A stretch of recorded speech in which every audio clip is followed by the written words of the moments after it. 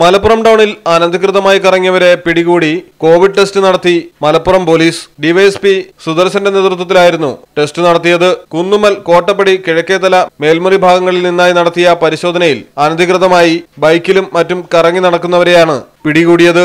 ഇവരെ മലപ്പുറം താലൂക്ക് ആശുപത്രിയിൽ എത്തിച്ചാണ് പരിശോധന നടത്തിയത്.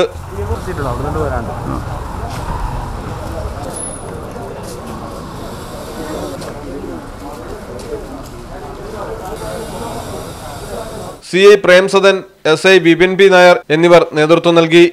Malayalam television Malappuram. Mall of abayas Dubai dot com Perinthalmanna Manjeri and Kannur